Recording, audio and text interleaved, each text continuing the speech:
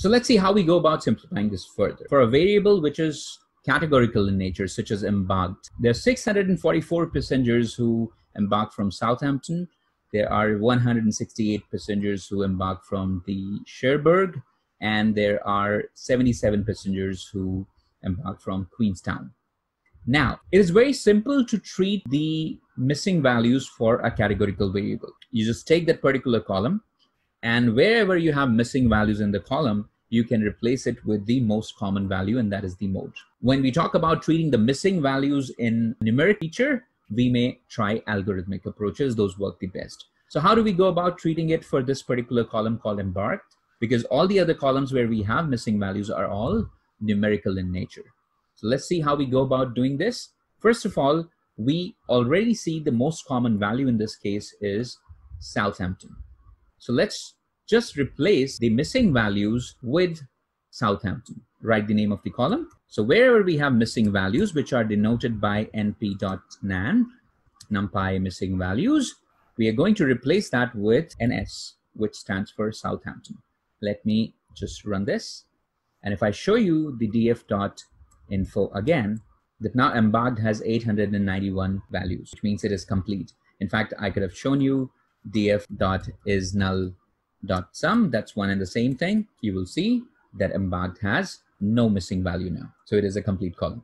So now we are left with the numeric features which have missing values. So now we are going to call a library which has very useful functions from fancy impute, import knn, and iterative imputer. These are the algorithms that will be used for imputation purposes. In open source world, often it is very frustrating that you get stuck with certain packages not being up to date in your installed version. That's why we always have an advantage with Google Colab. It'll be most up to date. In subsequent videos, I'll probably show you how you can actually keep your entire data on your Google Drive and work with Google Colab. Or you can read the data which is available on your local machine in Google Colab and work on it. Very convenient. The limitation with these techniques, however, is that they only understand numerical data. So we have to find a way to convert our categorical features, that is embark and gender, to numeric. For this purpose, we're going to use get dummies. This converts the categorical features to numeric features. We'll probably do a separate video to tell you what all options are available when it comes to this conversion. But for now, just realize that computers only understand numbers. So if you enter any kind of categorical data, at some stage you have to convert it to numbers for your computer to be able to understand and work with those. The inputs that this requires is the name of the data frame. And when we convert it to categories, we can actually drop one of the levels. So I'm going to write drop first is equal to true. Let's see how our data looks like right now. So if I look at the head of the data frame, so gender, the column that we had, has been replaced with gender male, and that's sufficient. So it's one and zero. And this typically assigns levels in alphabetical order. So female will be assigned a zero, and M being later in the alphabets will be given a one. Same way we have the embarked towns. And you can imagine that we don't need all three levels of the categorical variable here because if you have zero for Queenstown and Southampton, then it means it would have been a one for Cherbourg.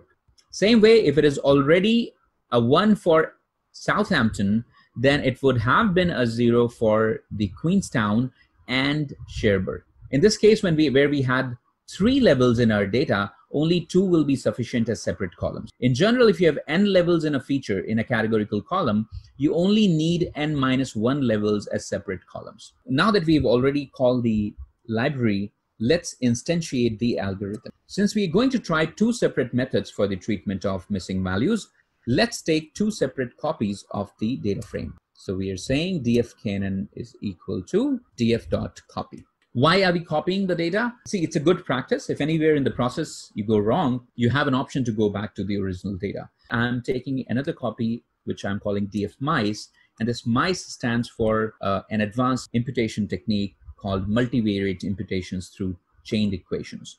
So let's just take a copy for the time being. Let's instantiate the algorithms that we have called. So I'm first calling knn, we try to find the record similar to the record where the value is missing and then try to come up with an imputation. That is always a wiser imputation as we discussed. So KNN is the K nearest K is a general number. It will try to find certain number of neighbors. So what are we trying to do? We are trying to replace the missing values spread across the entire data, considering all rows and columns using the KNN imputation. And for this, you try something called as a fit transform method, where you just pass the data that we originally copied. So if I execute this, it has done some kind of imputation. Interesting would be to see if we still have missing values in our data. Let me show you if we had missing values in the original data. I hope you remember that we had a number of missing values in the original data. Let's see what's the status now when we have applied imputation. So I'm going to do it on the imputed data frame, which is dfknn. You see, all of this is complete. And this has been done using a much more logical approach. So now we're going to try the next technique, which is mice imputation. Once again, that's multivariate imputations through chained equations. It's a much more complex technique in terms of algorithms, tries various combinations, but again, the bottom line is it is not a column centric approach. So let me instantiate mice here for you, which will be using iterative imputer. And here we would want to mention a random state just to ensure that the random initiation that happens is constant when we repeat it. So you can choose any value of your choice here. That doesn't matter. As long as you fix a value here, the results will be repeatable. That's it. That's, that's the whole motivation of a random state. Let's instantiate mice. Now, if we do the same step, so what we want to do is we want to replace all the missing values in the backup data frame or the copied data frame, which is a df mice data frame using mice algorithm. And we want to apply a fit transform method. So what is this doing? This is the transformation. It's going to apply the algorithm and make those changes for the missing values, which let's just execute this. So it prints a lot of stuff as the output here. You don't have to worry about it. What we may be interested in checking, however, is has it been able to do imputation or not? So let's just do df mice info. And there you go.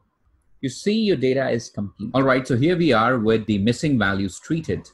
But let's just see what happened to the outliers. We may want to do a comparison with the original data frame. So I will have to just read another instance of that here to load data set because we have been making some changes. So let's take the fair column of the original data frame and try to do a comparison with the transform data frames. These are dfknn and dfmice. In order to do this, the best way would be to create side-by-side -side box plots. And here's the code to do that. So we are deciding the plotting area and then we are creating three plots next to each other. The first plot will be the plot representing the original data frame.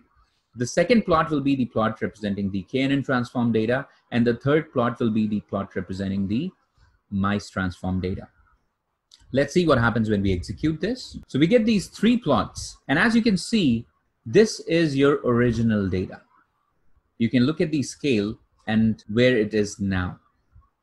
We didn't say that we want to eliminate the outliers. We said that we want to treat the outliers. I'm sure you'd agree that compared to this, where your fare was ranging anywhere from zero to uh, 500 plus, this is a better scenario to be in, whether it's KNN or mice. So now we've treated the outliers and we've treated the missing value. You might be wondering why we still have a few outliers. When you change the values, the outlier thresholds are recalculated with the transform data, but that's not really as big a problem as it was originally. So we'll be happy with this data right now.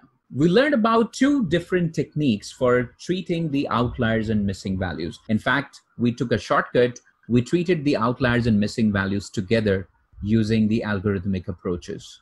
These approaches certainly are superior compared to the common mean and median based approaches. Now, we understand that you could be at different stages in your data science or analytics journey. But one thing that's for sure is that this is not a theoretical subject.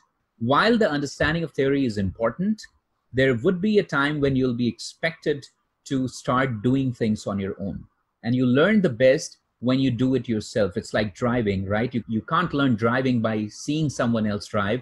Somewhere you have to hold the steering yourself. Same way in data science, while you can continue to hear people and it'll make sense. At some stage, you have to get started with the real work.